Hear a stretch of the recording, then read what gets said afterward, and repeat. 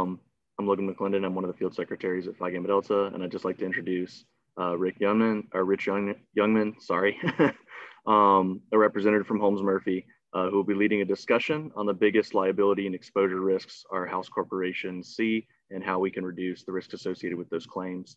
Um, if you guys uh, have any questions or anything, uh, feel free to just kind of drop in the chat and we can try and address those later. Thank you guys so much. We'll have about 45 minutes for this and then we'll have a quick break before we go out to the second breakout session.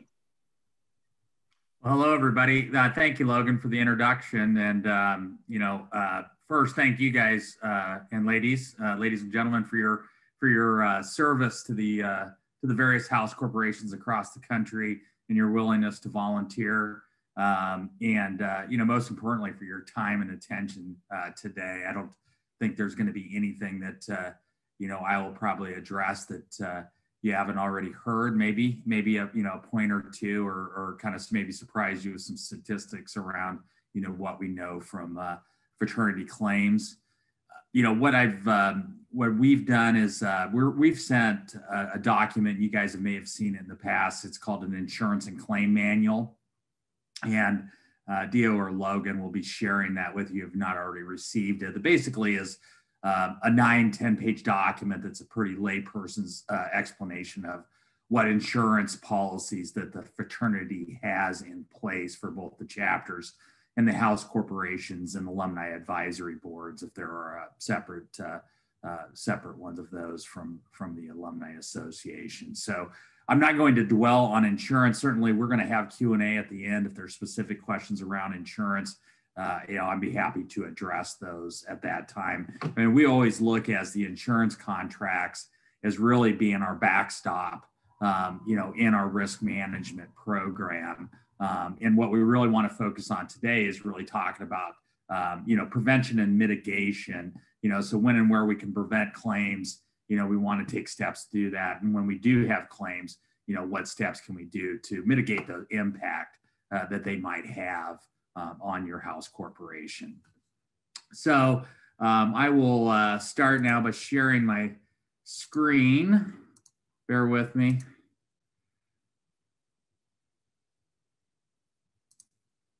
Or maybe. There we go.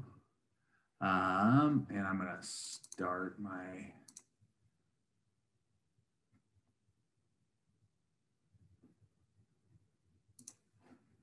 All right. Uh, well, I won't waste a whole lot of time on that. Um, you know, just a real quick background on uh, on uh, Holmes Murphy. Uh, we're your broker, and so what that means is we're not the underwriter. Um, you know, we don't work for the insurance company. Uh, we work for Phi Gamma Delta uh, to find the best coverage at the best prices possible. You know, we're constantly trying to look at the market and, and where it is, and it's you know it's you know as of late too, it's been a really challenging challenging job. But we've worked with Phi Gamma Delta since 1991. I myself have worked with Holmes Murphy since uh, 2002 and have worked with, uh, um, you know, Phi Gamma Delta since that, uh, since I came on. Um, in our property program, we have over 2,300 uh, locations, uh, which would be fraternity, uh, fraternity and sorority chapter houses, as well as uh, some student apartment complexes. Um, and, uh, and, and that represents about $4.2 billion in insured values uh, with the under that program. Um, based in Omaha, Nebraska, so sitting waiting for a ice and snowstorm to come in in a couple hours. So hopefully you're in a, a, little better weather than I am. But uh, we are we are based in Omaha. It's a team of 24 uh, teammates that I work with. Uh, that is 100% ser- uh, dedicated to serving the fraternal market. And, um, you know, for fraternity, sorority, and, and other type of student organizations, we place over $45 million annually in written premium. Um, you know, so kind of going back to, uh, you know, talking about prevention, you know, I really want to focus on the general liability or liability coverage and what kind of claims we see there, as well as property, because these are two areas, and then really drill down um, you know, into those areas where we, you know, you, we believe that a, a, a well-functioning house corporation can can have a significant impact in helping, again, either prevent those losses or, um, oh, are, do you guys see my, do you guys see my slide? I think uh, somebody said they were not. You see the slides? Okay, great, great. Um, so you know, and then so where are you know where where can you guys have a, an impact? And so the charts that I have up here is uh, you know for all of our fraternal clients over um, you know um, you know since back to dating back to 1998 and you know looking at in two buckets what's the frequency and what's the severity? Frequency being you know how, the number the pure number of claims reported regardless of cost. And uh, you know from that standpoint you know you're looking at our leading um, cause of loss is assault and battery. So you know fights that the young men find themselves in um, you know during their functions. Uh, sexual assault and you know we're you know if we look back you know five ten years ago um, you know, we're seeing not only that exposure um, grow in terms of frequency of reported claims, but also severity, where we're seeing uh, more sexual assault claims, um, you know, pursued civ- civilly against chapters, house corporations, and individual members. But then you in there you have slip and fall um, and fall from heights. And then when we look at severity, that's that's you know what are these claims cost, and and then it start that starts to change you know, based upon, you know, what it looks, you know, what, where, where that, how impactful those cause of losses can be in regards to severity, injury, and the, in, in the amount of litigation that we see from it and the complexity of that litigation uh, relative to defending the organization. And, you know, now what we're seeing is the leading cause is auto accidents. Um, but a big one, you know, that I think you guys have a direct impact on is the fall from heights. Uh, it is a very problematic exposure uh, for fraternity men, uh, especially those that occupy, you know, live in or you know are associated with a with a chapter that houses some form of housing. And the other one, while it doesn't show up in the severity, um, is slip and falls. Um, you know, just the condition of our pre- uh, uh our premises for you know both our guests as well as our members and our tenants. So you know, where are the drivers of loss? And when we're when we're talking about in this slide is really when we look at, you know, the millions of dollars paid out over those, you know, 20 plus years, you know, how much is it attributable to uh, housing where it, cur- it occurred, you know, the cost of that claim or that claim occurred at a at a chapter occupying some form of housing and 85% of our incurred losses are driven by house chapters versus non-house chapters. Uh, you know, I mean, there's, you know, obviously some explanation for that. You know, in most cases, our house chapters are probably our larger chapters, but they're also going to be our more uh, social, uh, you know, chapters. And then it also just adds in that element of uh, exposure to risk that a non-house chapter doesn't have, and that's that's the that's the premises. You know, those things that house corporations can be found liable for uh, because of the condition of that of that premise.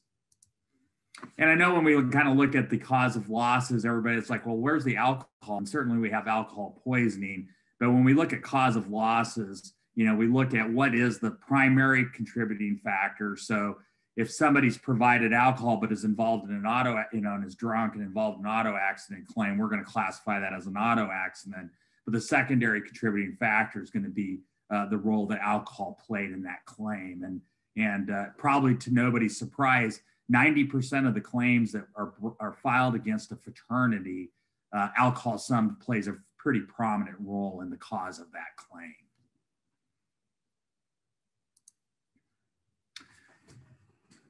And so when we look at uh, when we look at uh, you know trying to you know mitigate the risk, reduce the risk, you know, it's it's important to kind of know where our claims are coming from. And, and when we look at the types of fall from heights, because what I will tell you is that these are these are very impactful uh, in that typically the injuries are very catastrophic, whether that's you know quadriplegic, paraplegic, you know severe severe head trauma, um, you know brain injuries. You know these you know when when we fall a couple stories, um, you know, the results are, are very, very impactful. So, um, you know, understanding kind of where can we have an impact, it starts with, you know, where are these things happening? And, you know, this is just a chart that kind of shows you, you know, with with the significant uh, fall from heights claims, kind of where they're co- coming from, you know, and obviously, you know, roof, window, balcony, and fire escapes are are, are and even beds um, are places to where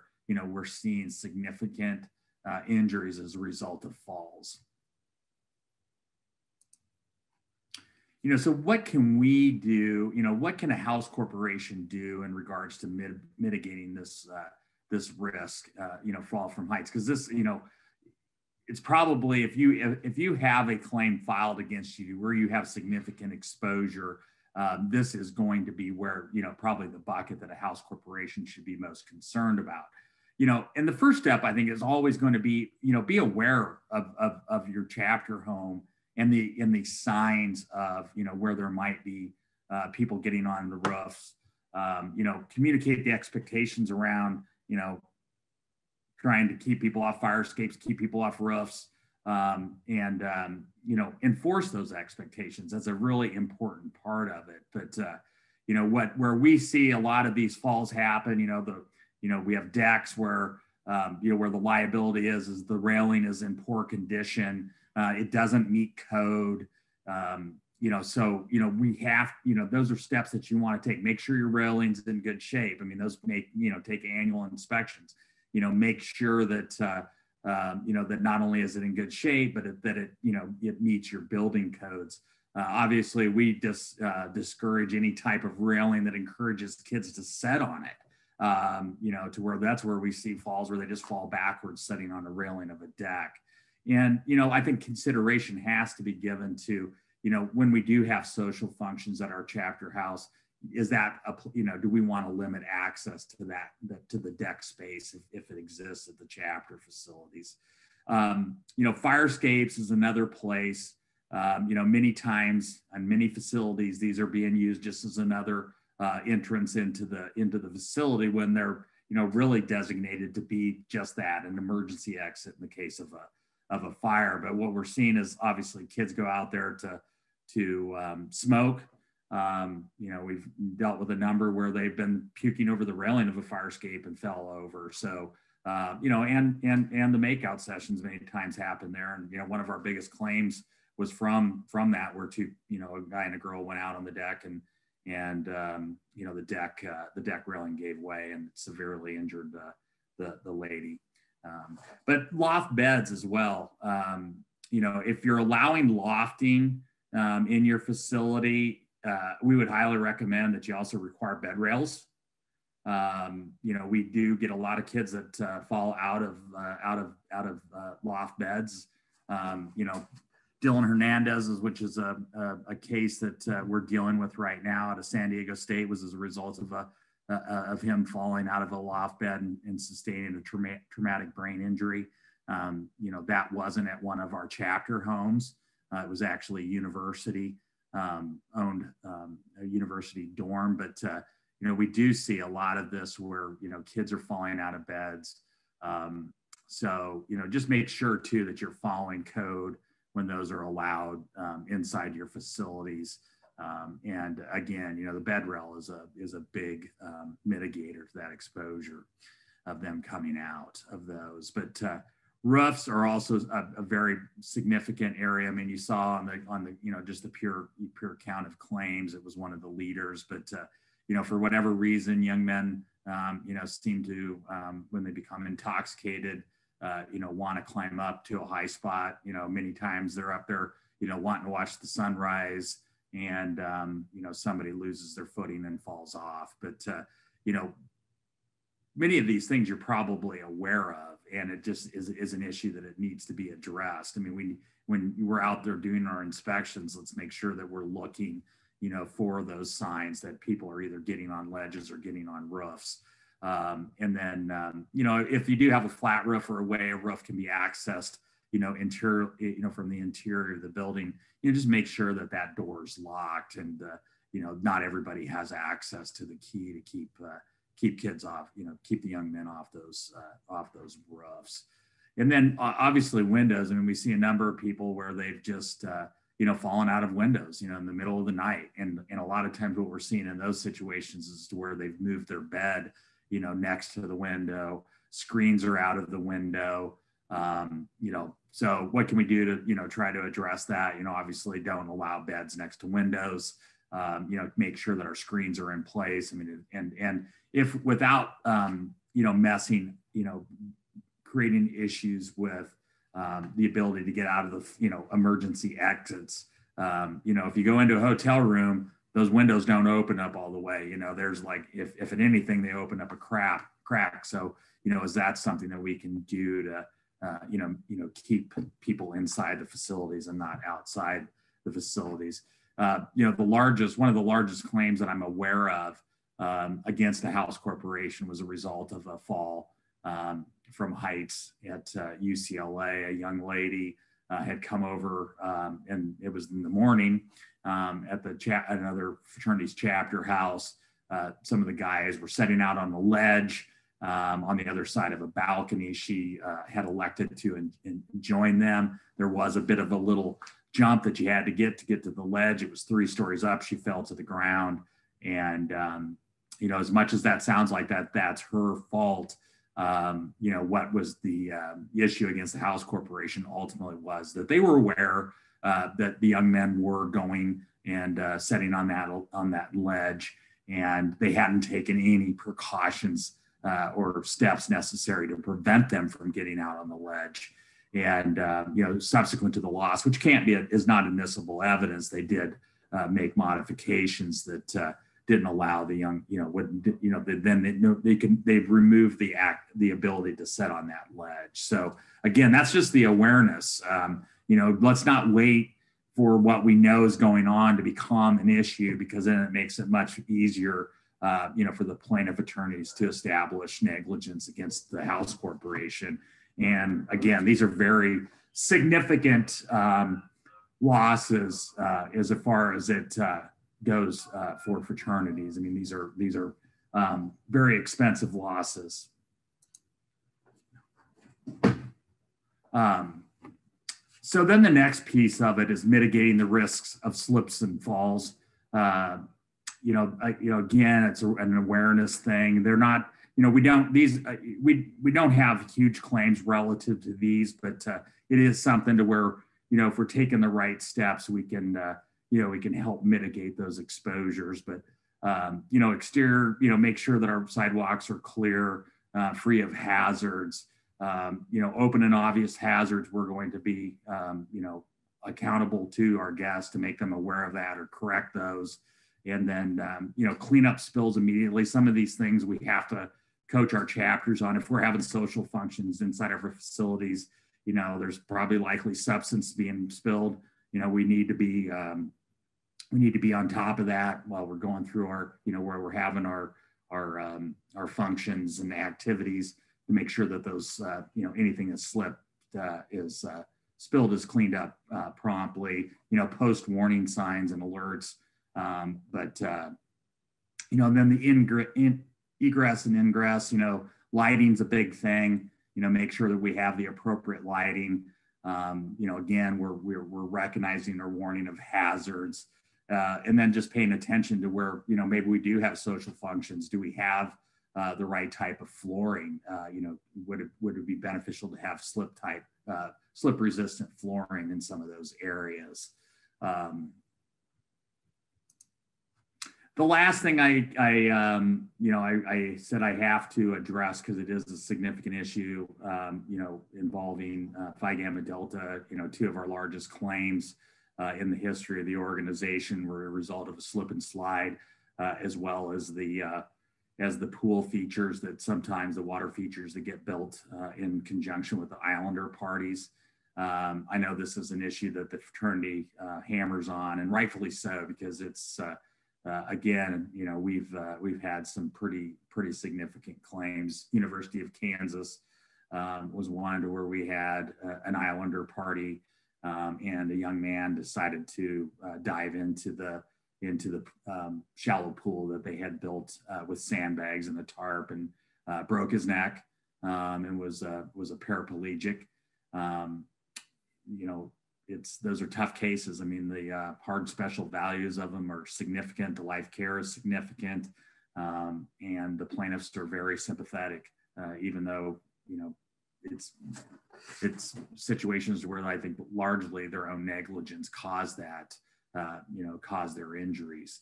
Uh, the other one was, uh, you know, just a non-alcoholic event involving a slip and slide.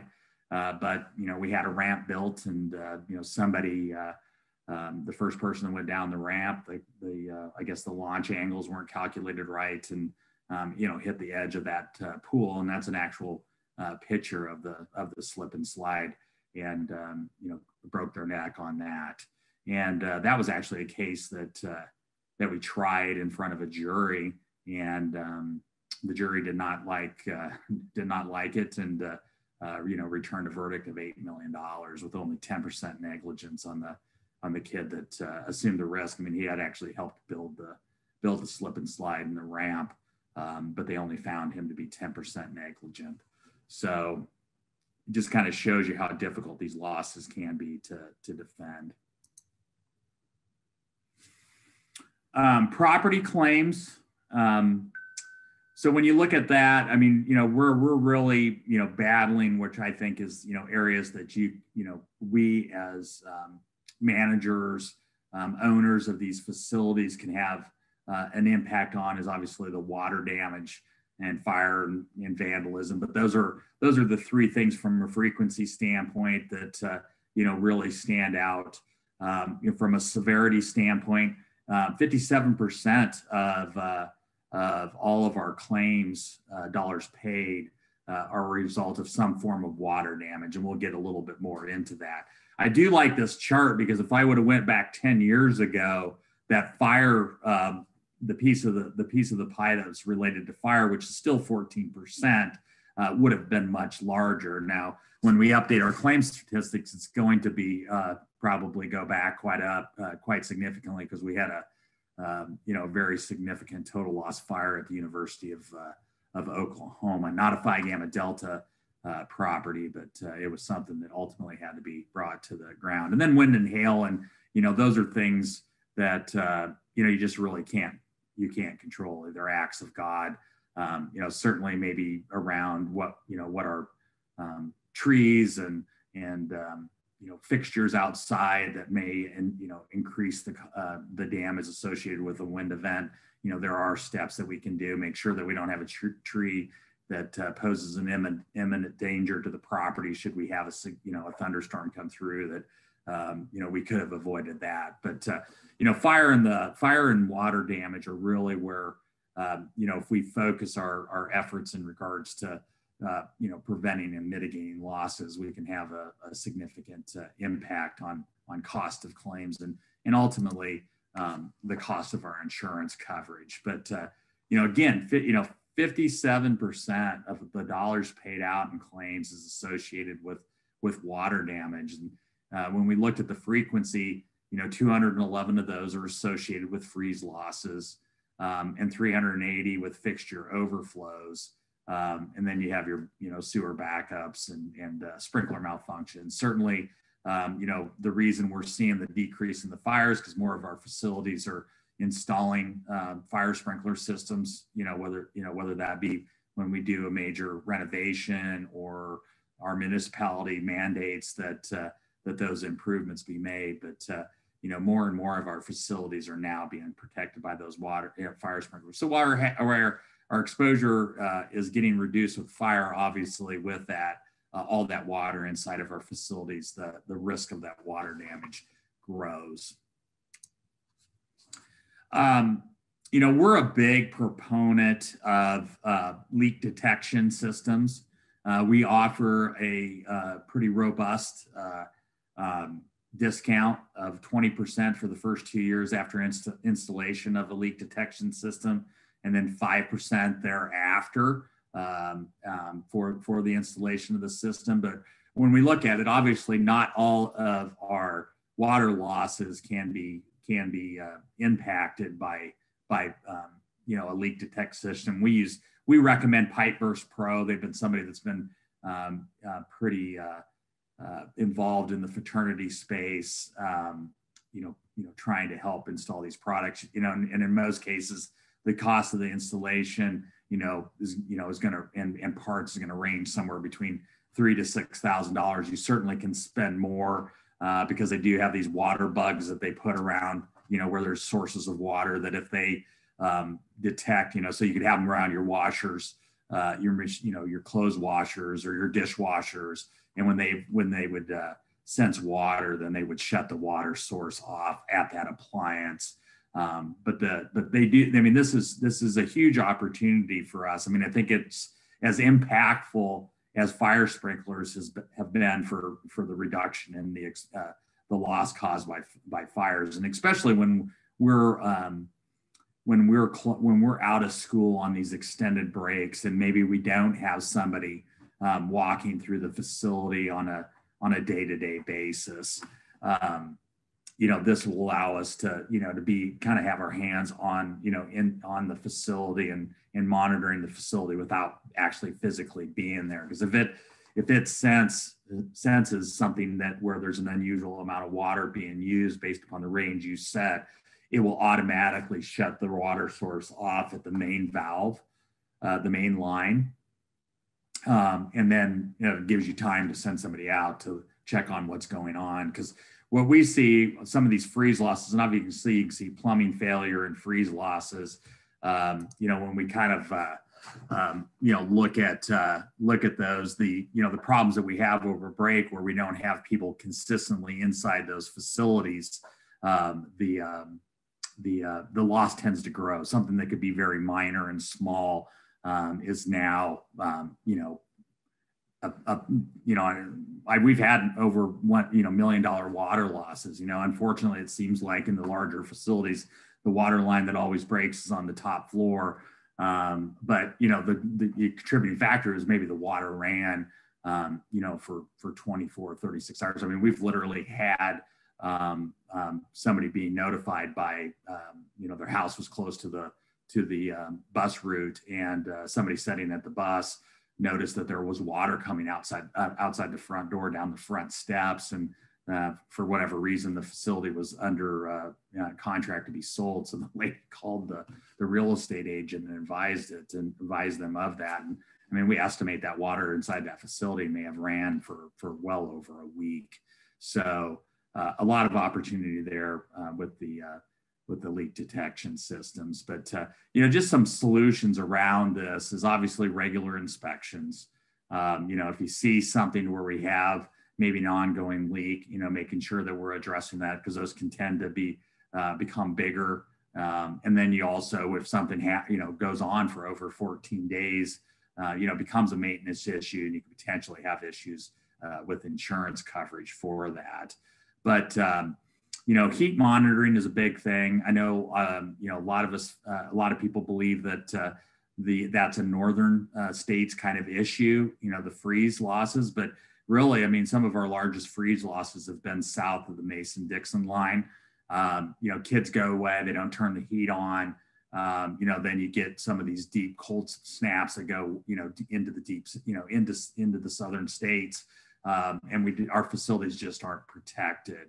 Um, you know, also, you know, just, you know, simple things like, um, you know, not repairing windows or leaving windows open, you know, impact the, uh, the ability to, to heat the facility. So if we, again, if we, you know, a lot of these leak detection systems also have these, uh, you know, these monitoring systems that monitor the heat, uh, you know, and if we can see that our heat, you know, we don't have appropriate heat in there, we're losing heat inside the facility.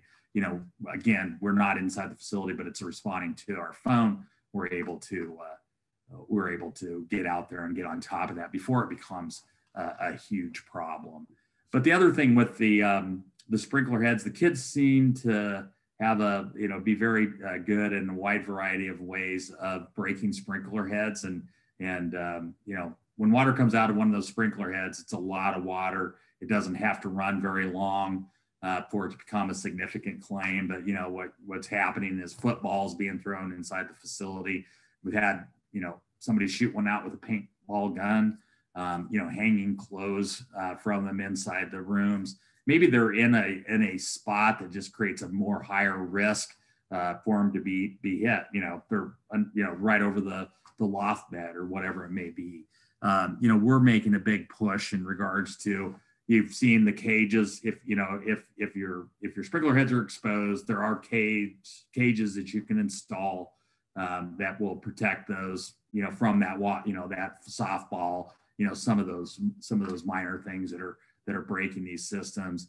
Um, you know, obviously, if you're going um, if you're putting a new system in, you know, even looking at recessing those, they obviously look um, it looks a lot better, um, but it's also you know it's also going to be a, a system that's going to be less prone to to having a big a big water loss as a result of one of those one of those heads breaking.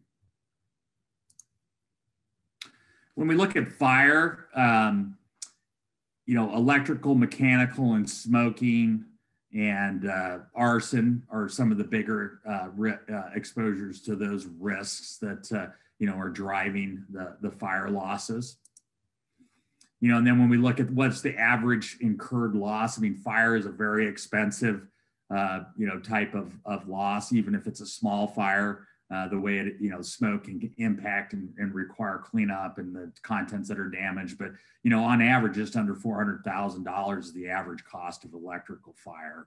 Um, and then obviously uh, intentional acts, you know, that's going to range from kids shooting off fireworks inside the facility, um, you know, the, uh, um, and various things like that, but uh, very expensive. So, you know, what can you do here? You know, just make sure that, uh, you know your electrical capacity is sufficient for the facility. I mean, this is becoming you know a big deal because kids come with so many more electronics um, that uh, you know you know a lot of if if your facility hasn't had its electrical updated in a while, it's probably uh, insufficient for the amount of usage that you're seeing from the tenants. Um, you know, obviously signs that uh, you don't have enough receptacles is you know drop cords running all over the place because those are you know, places where they become frayed and they cause the fire. Um, but uh, you know, big big opportunity there, you know, for you know for the house corporations to to have an impact. You know, and then on the arson piece, a lot of times that arson is um, you know somebody that uh, you know has uh, seen an opportunity based upon where we you know we've we've had a house deck and there's a bunch of lumber associated with it. And where do we store it? We store it right up next to the chapter house. And uh, and uh, you know an arsonist comes and sees that as an opportunity to to start that on fire. So you know just the the the, the debris and and the stuff around the house you know when you know obviously too where to where our um, our um, grills and other things um, you know safely a safe distance around the away from the house. And then the mechanical systems uh, inside the house and i think I, I do believe that the smoking issue is becoming less and less um, I think less young people smoke, but you know certainly we um, really um, are big proponents of no smoking policies inside the facilities. And I mean, I, I don't know, you probably in most municipalities, you know, based upon the the um, the um, the common you know boarding house type of situation is probably not allowed. But then uh, no candles as well. Um, you know, we see a lot of those fires, you know, start from the the candles. Um, know we're getting close here. And then there's really the fire solutions, you know, the smoking and candles. I think we all kind of hit on those, and you know, through that uh, initial discussion. But uh, you know, kind of when we just look at, you know, kind of going back to to winter versus, uh, you know, uh, non, you know, when these breaks versus non breaks. You know, obviously the losses are much larger, even though maybe the frequency uh, is equal uh, when we're out on break um, versus when we're in these facilities. And, and I know with COVID, this has become a bigger, bigger issue, but uh, then summer and winter break versus non-winter break for fires, you know, substantially larger when we're away from break versus when, when we're there. I mean, I think this comes is logical based upon the response time. And one thing I added, and I know I'm running close out of time, but I was uh, setting and uh, watching the early morning news for the local, our local station. They had a, a story on there about uh, the uh, Make a Wish Foundation of Iowa C- CEO had embezzled, uh, you know, from the organization, and uh, a big issue that house corporations are confronted with, you know, and um, you know, we you, you would be surprised at how many embezzlement cases you know happen at the house core level and uh, um, you know so i just wanted to you know kind of point out some simple simple steps to mitigate this exposure um, you know because a lot of times the insurance coverage uh, that there is for the financial crime is insufficient. Um, you know, four hundred thousand dollars is is stolen, and but there's only five hundred or fifty thousand dollars, you know, worth of embezzlement coverage. So, um, you know, the, none of these things will eliminate the possibility of embezzlement claim, but it certainly will mitigate it, and it will certainly um, create a situation where you will detect it much quicker. But you know, making sure that our our duties are segregated, you know, for payables and receivables uh, that whoever's the bill payer is not, you know, uh, is not the reconciler of the account. That we're doing monthly rec- reconciliations of the account. So if there are any irregularities, you know, we detect that quickly.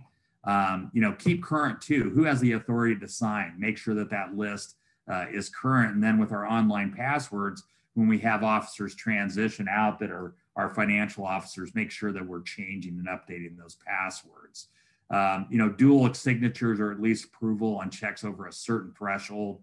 Um, and then, you know, we're seeing, you know, we're starting to see more and more to where you're seeing these phishing schemes, um, these social engineering types of losses to where there's fraudulent wire transfers that's initiated through an email that looks legitimate, you know, and the kind of how do we, what do we do to mitigate that is, you know, you got to have a process to where before you complete uh, a wire transfer that there's at least phone, a phone confirmation, um, you know, to that receiving party, um, as well as, uh, um, you know, confirmation of the wire instructions. Um, COVID-19, um, you know, obviously that's a new exposure that you're all dealing with. Um, you know, my recommendation there is that, uh, you know, just we got to we got to live up to a, a you know a reasonable standard. Uh, you know, we're I think it's going to be very difficult for anybody to hold uh, a house corporation responsible for COVID, uh, a COVID related claim, you know, based upon how difficult it is going to prove to where, where the, the case, you know, was contracted at. But, uh, you know, you got to encourage these guys to make sure that we're not, um, you know, violating whatever the local uh, requirements are in regards to how many people, outside people can be at the facility. You know, the cleaning protocols are, are in place that at least meet a minimum stand, you know, a reasonable standard. Um, you know, because there is going to be insurance coverage issues on, on the next renewal relative to this. Insurance carriers are putting, um, you know, uh, virus exclusions on these policies in response to this. Um, you know, what I can say is, as of right now, we have not had uh, one claim brought against a house corporation relative to COVID, um, but we still have our, we still are seeing um, other claims. Rob had uh, provided this in regards to the other types of claims that we've seen, um, you know, since we've kind of been in this COVID uh, lockdown. So, um, you know, there was a lot of, of, of energy around reducing this risk uh, right out of the gate, and I think that's great. Um, but my encouragement is, is like our every our everyday problems are continuing to occur, and we need to be committing that energy um, as equally into these things that we deal with on a day-to-day basis: the alcohol issues, the fall from heights, the sexual assault, those types of things, because that's that's where we're going to um, either succeed or fail. I I really don't COVID as as a as, as something that's going to be end up being a huge significant exposure for a fraternity or a housing corporation. Um, that is uh, my uh, my presentation. I would open it up to uh, any questions. I know I try to cover uh, a lot of things very quickly, but we do have uh, a couple questions. Uh, one was from um, Brett Cooper does the benefit of a sprinkler outweigh the da- that that uh, water damage risk? And I would say absolutely yes. Um, you know, on average, um, you know, when a sprinkler head breaks, we're going to be dealing with you know something you know maybe a fifty thousand dollar water loss versus uh, the cost of that fire should uh, it would it not have been uh, um, extinguished immediately. So, and it's there's huge premium savings for uh, sprinkled facilities versus non-sprinkled facilities in our insurance program. So uh, if you're on the fence about whether you get whether you want to install a system or not, uh, I will tell you that uh, you would save a substantial amount on your insurance premiums.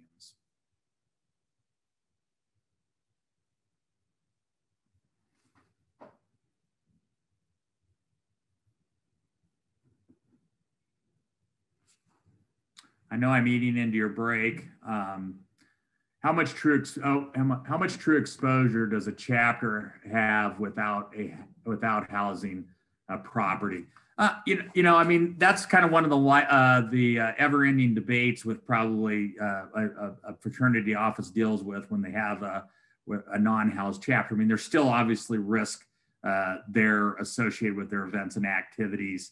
Um, you know, we're they're going to um, third-party locations for a lot of their a lot of their events, but uh, it is it is it is a lesser risk than where we do have a chapter house, you know, what's that, what's the right uh, differential, um, you know, that, uh, you know, obviously the money, uh, the, where the money flows certainly uh, leads you to the think that it's, that it's fairly significant, but to feel like that they don't have exposure is, uh, is, um, is not, uh, is not realistic either.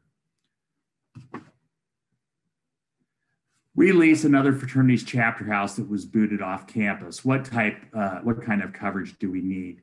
Um, Jeff, what I would ask for you to do is to email, if you have your lease, email that to me. And a, cu- a couple things. Do you want to verify what insurance coverage they have?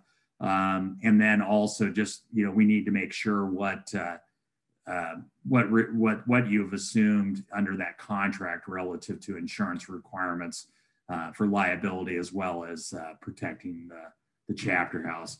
Um, my email address is um, first initial last name, which is R J U N G M A N at holmesmurphy.com. But we'd be happy to look at that lease for you and uh, and uh, make sure that you've got all your bases covered.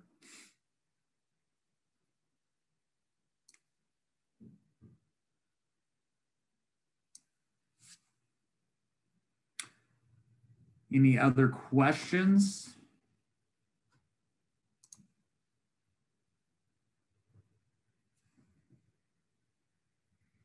All right. Well, I do again thank you for your uh, service uh, to the House Corporation and making you know helping uh, you know play a part in uh, can, you know making that fraternity experience a positive one. I think housing plays a critical role on on a number of campuses, and uh, you know it's something that we want to see um, you know the future generations be able to uh, to experience just like we did. Thank you, guys. Thanks, everyone, and, and thank you, Rich. Really appreciate it. Um, everyone, the next session starts at 1:45. But if you'd like to go ahead and go into the waiting room for your next session, feel free. Um, I'll go ahead and drop the agenda just one more time in the chat so everyone has access to that.